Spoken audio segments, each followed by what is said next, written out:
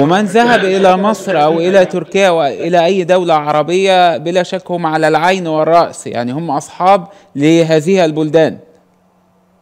يعني هذا ما يجب أن نفعله. السودان استقبل لاجئين. تعرف أن السودان استقبل ملايين اللاجئين. صحيح. ما طبعا الجنوب السودانيين كانوا جنوبيين لكن من الحرب هناك في ملايين من جنوب من جنوب السودان من أريتريا من أثيوبيا من تشاد.